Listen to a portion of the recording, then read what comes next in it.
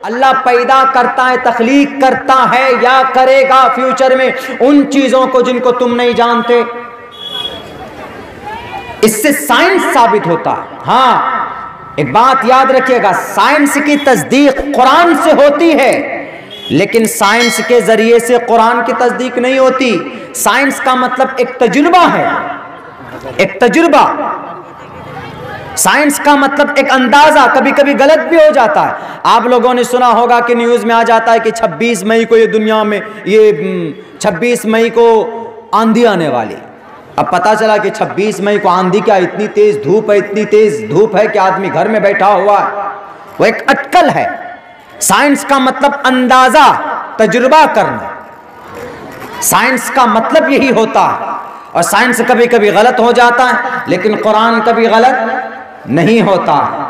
तो हमने कहा कि मेरे भाइयों, जितने भी मास्टर हजरात हैं, आप कभी भी ये मत कहिएगा कि साइंस की वजह से कुरान है। हमने कहा कि नहीं, कुरान की वजह से साइंस है। अल्लाह ने कुरान करीम के अंदर साइंस को भी ज़िक्र किया है। वन हदीद फ़ी बसुन शदीद। ये माइक किसके ज़रिए से पैदा किया गया? लोहे के ज़रिए से बना है, रबर प्लास्टिक के ज़रिए से बना है। जितने भी टेक्नोलॉजी है, टेक्निकल चीज़ें हैं, मानी जाती है।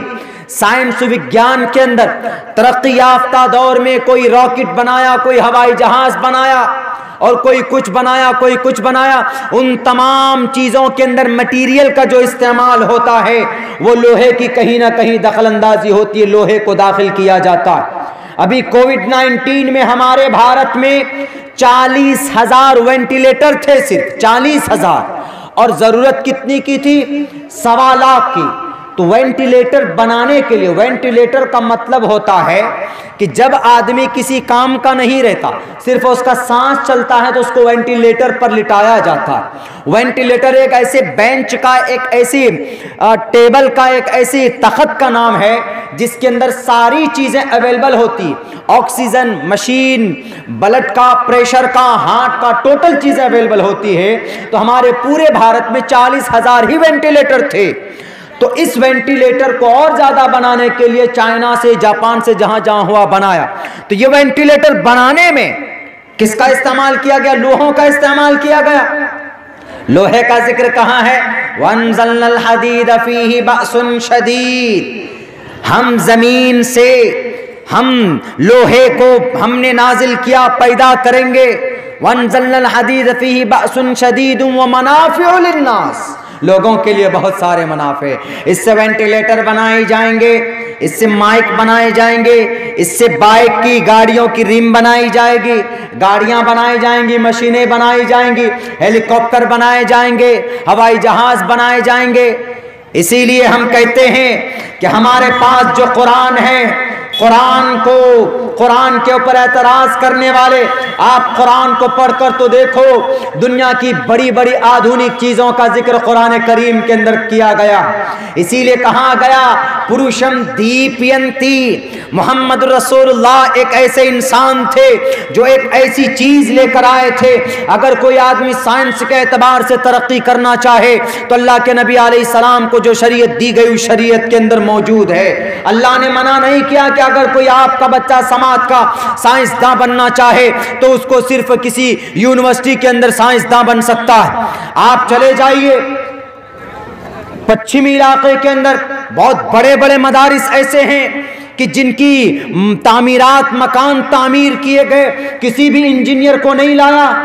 बल्कि वहाँ के जो इस हैं, वहाँ के जो पढ़ाने वाले शयूख हजरात हैं, अपने माइंड से उन्होंने, अपने मदरसे की इमारत की पूरा नक्शा उन्होंने बनाया है। और ऐसे ऐसे जहीनदार लोग मौजूद। हमने खुद अपने स्कूल का जो हमने बिल्डिंग बनाई है, हमने किसी इंजीनियर की हमने मदद नहीं। मैंने खुद से उसका नक्शा पाँच से छः मरतबा हमने बनाया और फिर अपने नक्शे के एतबार से हमने उसको बनाया है, हमने उसको इस्टेब्लिश किया। हमारे उस्ताद मोहतरम देख देखकर बोलते हैं कि किसने बनाया? हमने कहा कि सर आपके शागिर्द ने बनाया। तो क्योंकि कुरान करीम का पढ़ने लिखने वाला आदमी कभी भी खुट्टल नहीं हो सकता कभी वो बुजदिल नहीं हो सकता, कभी वो दिमाग का भोथा नहीं हो सकता, बल्कि शार्प माइंड ही होगा जिसके दिलो दिमाग के अंदर अल्लाह तबारक व ताला का पाक पवित्र कुरान करीम होगा। इसलिए कहा गया, पुरुषम दीपयंती पूरी दुनिया में रोशनी फैलाने वाला। पुरुषम दीपयंती प्रज्ञा चकोलम चिदम शुरुतंच प्राकर्मश बहु भाषिता च। दानम यथा शक्ति, दानाई देने वाले, अकलमंदी लोगों को समझाने वाले। और मोहम्मद रसूलुल्लाह ने अकलमंदी दी थी। लेकिन आजकल कुछ लोगों को एतराज़ होता है। कुछ लोगों को बहुत बड़ा एतराज़ होता है कि नहीं जनाब, इस्लाम के अंदर तो तरक्की की कोई चीज़ है ही नहीं। उठाओ राजा हरि, हर्षवर्धन की ज़िंदगी को। हर्षवर्धन एक बहुत बड़े राजा थे। कहाँ के राजा थे? यही मालदीप, लकादीप के बहुत बड़े राजा थे। जब उन्होंने मोहम्मद रसूलुल्लाह के बारे में सुना था, अल्लाह के नबी सलाम की ज़िंदगी के बारे में सुना था तो उन्होंने तहकीक के लिए एक एलची को भेजा। मदीनतुलमनवरा मक्तुलमकरमा के, जाओ, देख कर के आओ क्या वाक़ता वो पुरुषम दीपयंती हैं? लोग उनके दरबार में कैसे आते हैं? जाओ तहकीक करके आओ। भेजा गए आने के बाद सारी बात ए टू जेड जो राजा हर्षवर्धन ने पढ़ा था अपनी ग्रंथ में, कि उस तरह यस परवाही जो वधु मंतो दिविर्दश, वर्षमहारथश्च दिविज हीड़ती देविष्माना उपस पुरुष ए तस्मिन तरे मले चार्यन समन्विता, महामदैत किया तो शिष्यो साक समन्विता। ये भी देखा उन्होंने उनकी ज़िंदगी के अंदर पाई जाती, और ये भी देखा उन्होंने के लोगों को बताते, हे वे कहे लोगो, न देवा मुरच्छ लामिया ए देखो, एक ईश्वर को मानना। ए लोगो, या अयुहन्ना सुकोलो ला ए लोगो, एको देव सर्वभूतेषु गूढ़ः। उन्होंने जब तहकीक की, उन्होंने कहा कि राजा, महाराजा, गुरुजी, ईश्वर के सामने अपनी पेशानी को झुकाते हैं, किसी और के सामने अपनी पेशानी को वो नहीं झुकाते। तो राजा हर्षवर्धन ने अपने ग्रंथ में देखा, उनके ग्रंथ में लिखा हुआ था, प्रथमा दारका जीवा, दियोद दियन मुजियते तृतीयानन कोडला कार्य चतुर्थदेव चंद्र का पंचम बिंदु संयुक्ता। राजा हर्षवर्धन ने देखा, अपने ग्रंथ के अंदर लिखा हुआ है, अनस्वंता सतपतिर्मा महे मेघावा चैतिष्टो अशुरो मगोना, त्रिवृष्णु अग्निदशा भी सहस्तर वैश्वान रहा कि ज़मीन के ऊपर आएँगे वो वो लोगों को मिलाएँगे, दुश्मन दुश्मन को दोस्त बना देंगे, और वो कहेंगे कि सिलमन खताक, लोगों मिलकर अपनी ज़िंदगी गुजारो, आपस में भेदभाव फूट पैदा मत करो। जब उसने देखा, जब उन्होंने बयान किया उस एलची ने कि मोहम्मद रसूलुल्लाह इस धर्म के अंदर अच्छे काम की तलकीन देते हैं, अच्छे बात बताते हैं। तो राजा हर्षवर्धन ने अपने ग्रंथ में उठाकर देखा, उसके अंदर कहा गया कि साफ़ लफ्जों के अंदर, क्लियर तौर पर उनके वेदों के अंदर उनका ज़िक्र किया गया और कहा गया है कि शरीर ने शमम नाशम शर्वमन यदि गच्छति। ए लोगों, तुम्हारे पास जो शरीर है, एक दिन तबाह हो जाएगा, एक दिन खत्म हो जाएगा, लेकिन तुम्हारे पास जो पुण्य है, जो तुमने किया है, वो मरने के बाद भी तुमको जन्नत में, तुम्हें जन्नत में लेकर जाएगा, स्वर्ग में पैराडाइज में लेकर करके जाएगा। राजा हर्षवर्धन ने देखा कि उनका जन्म एक ऊँचे खानदान में होगा। राजा हर्षवर्धन ने देखा कि वो वो पूरी दुनिया के अंदर, पूरी दुनिया के अंदर किसी से कोई भेदभाव नहीं करेंगे, बल्कि सबको इज़्ज़त देंगे, सम्मान देंगे और लोग बड़ी मोहब्बत से, प्यार से उनका नाम लेंगे। तो उन्होंने अपने वैद को देखा कि नाराशन समाजिनम वाजन्य शहीदीरम पूषणम सन्मेरी में रथम न दुर्गा दवसव सुदानवो विश्व सम्मानो पूरी दुनिया के लोग उनका सम्मान कर रहे हैं, पूरी दुनिया के लोग उनकी इज़्ज़त कर रहे हैं, पूरी दुनिया को लोग, पूरी दुनिया के लोग इज़्ज़त से उनका नाम लेते हैं। जब नाम उनका लिया जाता है तो लोग दरूद भेजते हैं। कौन कह रहा है राजा हर्षवर्धन कह रहा है। राजा हर्षवर्धन पर है हिम्मत, उनकी ज़िंदगी पर एतराज़ करने का। राजा हर्षवर्धन भारत का सबसे पहला वो हिंदू राजा है। वो इस साम्राज्य का, इस देश को जो अलग अलग बटा हुआ था अलग अलग स्टेट में राजा हर्षवर्धन का एक लक्ष्य था विषय था, जिसने पूरे भारत को, अखंड भारत को एक किया है। पूरे श्रीलंका को मिलाया था, मालाबार, कालीकट और म्यांमार को मिलाया था। बांग्लादेश नहीं बना था, बांग्लादेश भी अलग राज्य बना हुआ था, उसका एक अलग राजा था। उसको भी मिलाने की कोशिश की थी उठाओ राजा हर्षवर्धन की तारीख इस्लाम पर एतराज़ करने से पहले, मुसलमानों की मस्जिद और मीनारे पर शक की उंगली उठाने से पहले, उठाओ राजा हर्षवर्धन की तारीख। तो राजा हर्षवर्धन क्या कहता? एलची, तुम गवाह रहना। का सर, आप क्या करने वाले? कहा, मैं मैं अब ये सल्तनत छोड़ने वाला मुझे अब ये दौलत नहीं चाहिए। अब मुझे ये बादशाहत नहीं चाहिए। क्यों? मैंने अपने ग्रंथों में जो पढ़ा है,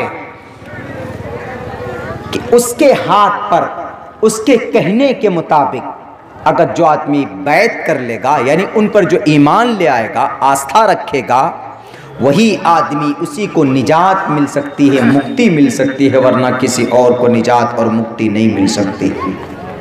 इसीलिए सुनो, सारे वजीरों को बुलाया, सारे स्टेट के राजा महाराजा को बुलाया राजा हर्षवर्धन, ये तारीख में आप लोगों के सामने नहीं रख रहा पहले तो राजा भोज का ज़िक्र है, लेकिन यहाँ राजा हर्षवर्धन का ज़िक्र है।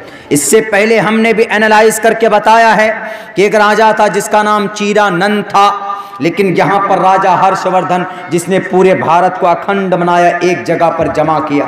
तो उसने कहा कि मैं, मुझे ये दौलत नहीं चाहिए। मैं हूँ बादशाह। लेकिन फला स्टेट वाले को उसकी, उसके हवाले कर दिया। पूरी, अपने पूरे साम्राज्य को बांट दिया कि जाओ। सबने पूछा कि गुरुजी, आप क्या करेंगे?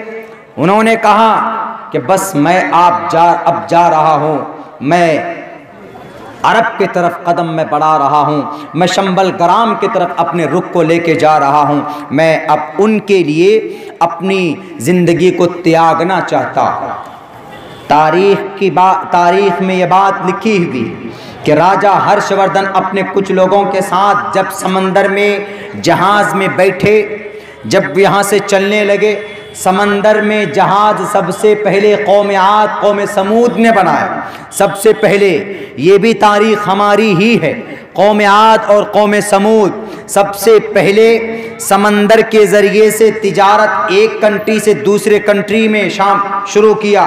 दुनिया की बड़ी ऐतिहासिक चीज़ों में हमारा नाम दर्ज है, लेकिन बड़ी बदनसीबी है कि हमने अपनी तारीख को न तो हम तस्करा करते हैं अपनी तारीख का, न हम पढ़ने की कोशिश करते हैं और न हम जल से जुलूस के अंदर, मस्जिद और मस्जिद के मंबर के अंदर न हम अपनी तारीख कौम को बताते हैं। एक बात याद रखिए।